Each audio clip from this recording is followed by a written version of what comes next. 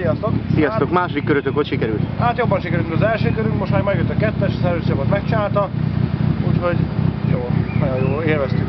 Ö, további tervek, támadtok vagy tartjátok a pozíciót? Hát inkább megtartjuk a pozíciónkat. Oké, és köszönöm szépen, sziasztok!